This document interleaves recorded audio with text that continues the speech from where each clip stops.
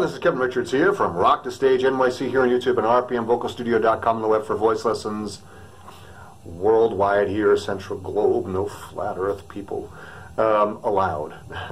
As usual, uh, check out the description below there. There's links to get both my vocal courses, Vocal Fire, which is um, a nice beginners or sort of a warm-up program, um, and Breaking the Change, which is a more comprehensive uh, program. Both of those is digital downloads just for 50 bucks for being a cool person watching this video today.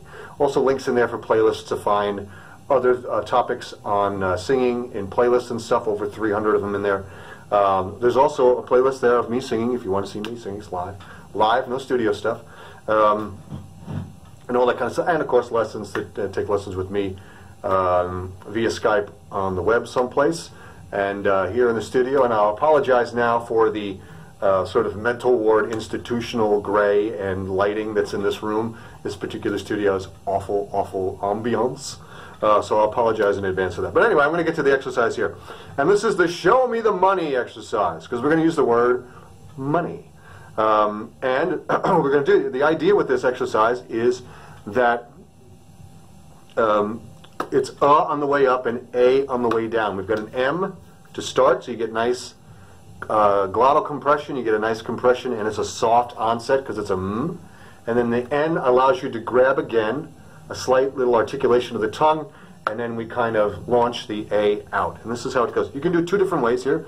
You can either do it as a octave exercise, octave arpeggio, which I'm sure you've heard a hundred times, um, or a five-tone scale, which has a, a, a smaller intervals and more notes has nine notes in it rather than spread out like that.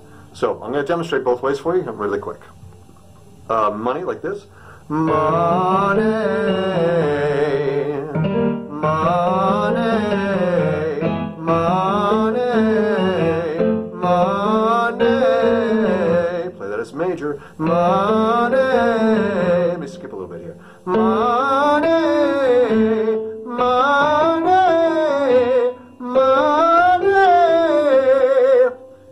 My mo on the way up, and then I let it open, and then nay on the way down. Uh, also, now let me demonstrate it with the uh, arpeggio, with this. Money, money, money, money, money, money. This is just a nice uh, word exercise that you can use rather than just one plain um, open sound all the way um, you can combine two sounds together with an articulation in the middle there um, to make sure that you're not holding tension in your tongue and all that kind of stuff. Um, just a, a, simple way to make a variance of maybe other exercises that you're doing that just use kind of open vowel sounds. We can use a kind of word play in the context of a vocal exercise and learn some articulation uh, techniques as well to make sure you're not holding tension in the jaw or the tongue and you're not spreading the sound out really wide. You're keeping it nice and narrow and under control. Till then, this is Kevin Richards signing off. Keep rocking, keep practicing. See ya.